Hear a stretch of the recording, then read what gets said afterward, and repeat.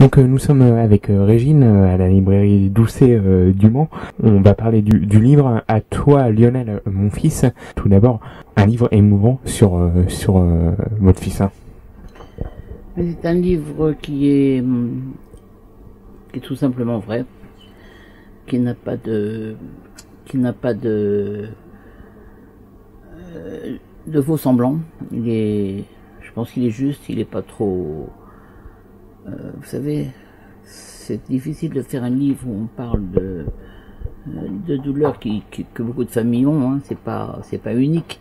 Ce qui est, ce qui est unique, c'est que moi je suis un personnage euh, dont on parle beaucoup, dont on raconte beaucoup de choses, dont on, qui a fait beaucoup de choses à travers le monde, que mon fils est un grand journaliste et un personnage assez, assez fort et, en couleur et, sévère et en même temps grand humaniste. Comme nous, on est, on est très, on a beaucoup de communs, de points communs. On se ressemblait énormément, donc on était beaucoup en conflit. Toute sa jeunesse, il l'a pas vécu avec moi, et quelque part, il m'en voulait. Il pensait que c'était une décision de que moi j'avais prise. Non, c'était une décision de malheureusement de justice. Son père m'a attaqué pour parce que je travaillais la nuit.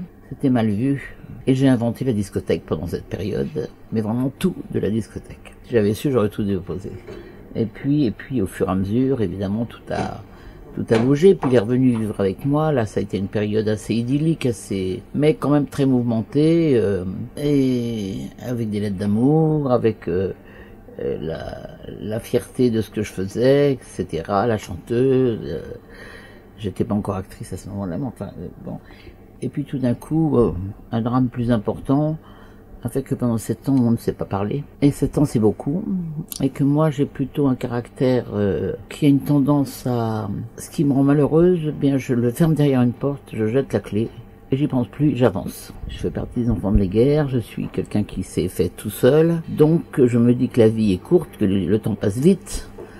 Et j'ai, je prends des, pas des raccourcis, mais des chemins euh, qui sont des chemins bien droits et que j'assume. Avec la mort de mon fils, j'ai fait trois ans, disons, un peu de, de retour sur moi-même et j'ai voulu savoir quel était ce masque que Lionel avait. Euh, on le voit dans le. Il voulait faire un portrait sur moi. J'avais fait un très beau spectacle dénué de toute plume, Strass et tout le Bataclan. De chanteuse réaliste vraiment avec euh, où je racontais ma famille.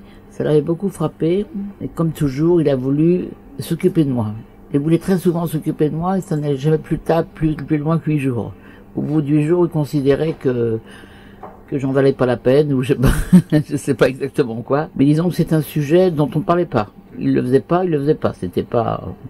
J'ai retrouvé ça en, faisant tout un rangement d'archives. J'ai trouvé que c'était tellement vrai, en même temps cruel, en même temps plein d'amour, en même temps plein de réflexions très justes sur moi. Et j'ai décidé de parler de, moi, bien sûr dans ce livre, de parler de ce masque justement, comment j'avais comment je m'étais cuirassé contre la douleur, contre contre ne pas être malheureux, ne plus être malheureux. J'avais je trouvais que j'avais payé mon tribut, ça me suffisait, euh, voilà. Et puis, évidemment, euh, les choses allant à une allure folle, je voyageais énormément, j'étais à peine trois jours dans un pays, je repartais dans un autre.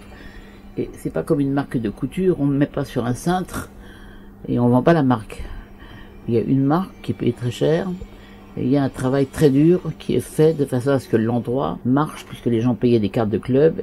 J'ai expliqué le concept, c'est la première fois. Jusqu'à maintenant, les gens n'avaient jamais compris comment je fonctionnais. Donc c'est un concept vraiment que j'ai inventé. Moi, je n'ai eu que deux boîtes à moi et le reste c'était des licences. Donc je faisais comme les couturiers, sauf qu'il fallait que je paye de ma personne, que j'organise les arrivées des vedettes. Je le faisais toujours pour une œuvre caritative.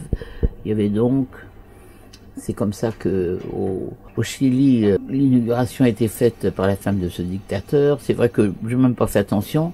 Et c'est vrai qu'on me l'a reproché. Je dire, mais comment... Euh. Mais c'était des amis à moi qui... Vous savez, moi je suis très polo. Et au polo, dans le polo, il y a beaucoup de Chiliens. Mais bon, ça n'a pas duré longtemps parce que bout de trois mois, le propriétaire a mis une petite bombe parce qu'il a trouvé que c'était un remboursement plus vite. Je raconte d'ailleurs dans les vicissitudes. Mais j'ai eu très peu de très peu de problèmes par rapport à 23 clubs. Voilà, et je raconte vraiment comment il fallait que ce se passe et comment il fallait que ce soit. C'est intéressant parce que c'est un métier qui n'est pas courant, et il n'existe même pas. Ce qui existe aujourd'hui, c'est les grands chefs qui donnent leur marque, qui donnent leur... Euh, mais ça aussi, c'est moi qui l'ai fait. J'ai exporté Guérard le premier, et puisqu'il était mon chef... Euh, et j'ai eu beaucoup maille à partir avec la avec les critiques gastronomiques qui ne comprenaient pas que ces chefs délaissent leur cuisine pour aller, et donc j'étais très très prise à partie s'amusait beaucoup Lionel, qui, adorait faire la cuisine. Voilà, donc, euh, et puis tout d'un coup, cette, euh, cette maladie horrible pour tout le monde. Mais comme c'est un garçon très, très bagarreur, très, il a, il a vraiment fait un traitement de cobaye euh, très très dur. Et je me suis mise en retrait pendant une, trois ans pour, pour ne pas, j'ai fait que la, que la ferme pour le faire rire. Pas au début, mais au bout de trois semaines, il n'a pas résisté. Voilà, il m'a écrit la première lettre d'amour après 30 ans de, silence euh, d'écriture. Voilà, donc c'était, c'était, mais, on était terriblement semblables hein, aussi. C'est pour ça qu'il y avait tellement de batailles, à part que moi, quand il m'écrivait, quand tu es avec moi, tu ne parles pas aux autres, moi je suis jaloux. Je suis oh, il est gentil, mon fils, j'ai jamais vu de signe. Euh, j'ai pas vu les signaux de possession de, qui étaient qui étaient réels et qui le faisaient souffrir. Il avait, il avait des vraies filures, hein, des vraies vraies filures.